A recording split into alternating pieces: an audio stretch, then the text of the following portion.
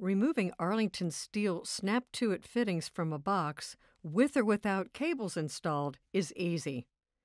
Open your channel lock slightly larger than the diameter of the installed cable, placing the jaws between the cable and on top of the fitting.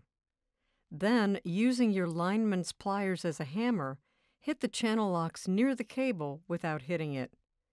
It may take a few tries, but the fitting and cable will slide through the knockout and you can unscrew the fitting from the armor.